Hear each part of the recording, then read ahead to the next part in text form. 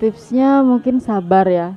Harus benar-benar sabar. Nah sabar di sini eh, nggak uh, bisa hanya dengan oh iya ya harus sabar. Tapi sabar itu ketika kita menghadapi ujian-ujian atau kendala-kendala yang kita hadapi.